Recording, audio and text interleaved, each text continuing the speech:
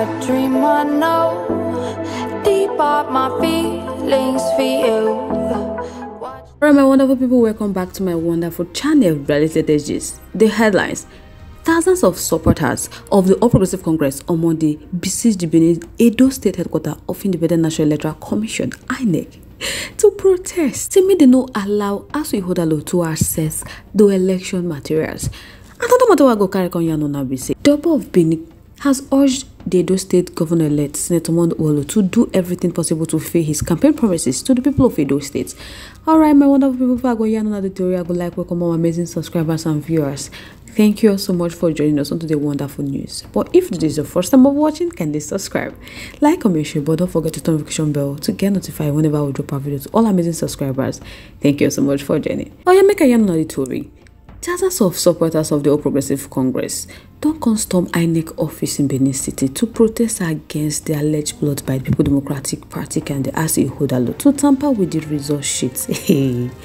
they said they no go allow that thing happen because they know that Senator Mondo Ugolo won on a free and fair ground.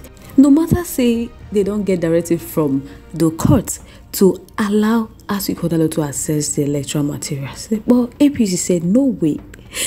Asue Ighodalo and the PDP had obtained a court entry order directing INEC among other officials to allow the PDP to make a comprehensive check of the electoral materials that was available on the 21st of September 2024. The order was given in a suit mark EPT slash ed slash gov slash 01m slash 2024 between Ighodalo and People Democratic Party as applicants and Independent National Electoral Commission, Montbubulu, and the All Progressive Congress as responded. So in a rule order which was dated on Sunday, September 29, and it was signed by the Secretary of the Tribunal, Muaz Ibrahim Bagudu. The chairman of the tribunal, Honorable Justice W.A. Oji, said that having critically examined the details of the relief sought, the supporting affidavit, and the written address of the council, the application is granted in the following terms. One, he hereby order that is the first respondent. He directed the first respondent to grant the applicant or the solicitor and forensic document examiner unfettered access to access all the electoral materials and to open up for inspection all electoral documents or any document in the custody of the National Chief Electoral Commissioner or any office of the Commissioner. The first respondent, particularly, that is the voter register, the ballot paper, the BVAS machine forms. he said which was utilized for the conduct of the Edo State Government election held on September 21st, 24. So he wants them to allow the PDP to assess those things. He's also said that the first respondent is mandated to take immediate steps to ensure that all the forms, that is Form EC25B and Form EC25B1, Form EC40, and so many other forms used at the gubernatorial election of the 21st September 24. He wants all of them to be inspected. But APC are standing on their ground with INEC and other officials say PDP no go access those things. A member of the applicant legal team, Olusegun Jolawo, submitted the order to INEC and he was told to come back the following day, being on Tuesday, to give the feedback. So, speaking to journalists thereafter, he said he came to INEC office to submit the paper that was given to him in attempt to get material to, to flesh up their petition in furtherance of the court order received on September 29, 24.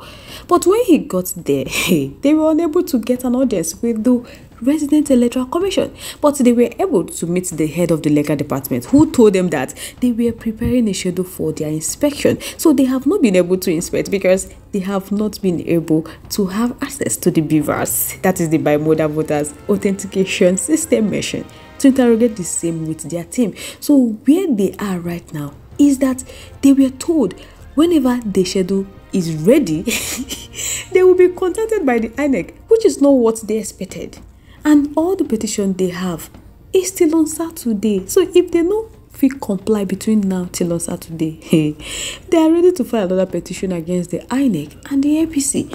So people let me know your thoughts, your contributions, opinions in our comment section. Because the way the matter they go, as the Hodalo no go give up, he said he will surely get what rightly belong to him and to Edo people.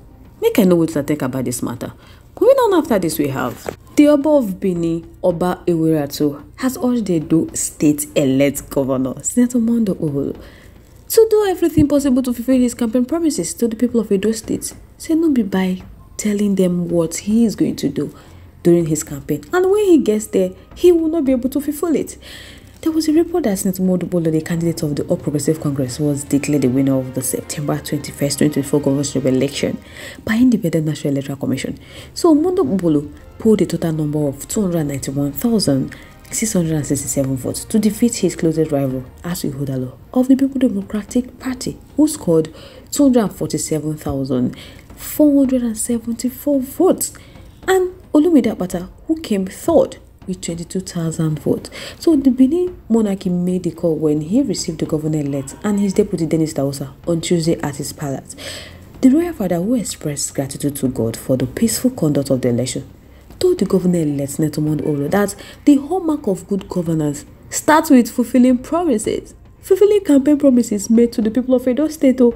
So he thanked the God Almighty for the peaceful election and he said, Hey, Thank God that God don't hear their prayer.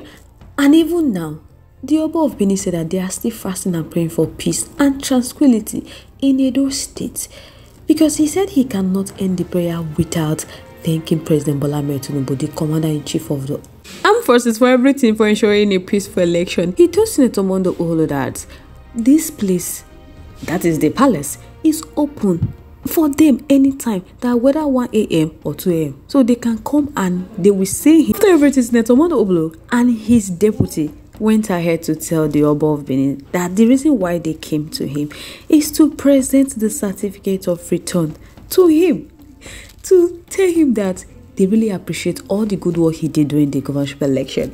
So when people would like know what I think about this matter in our comment section, I would like hear from you once again. Thank you so much for staying to us.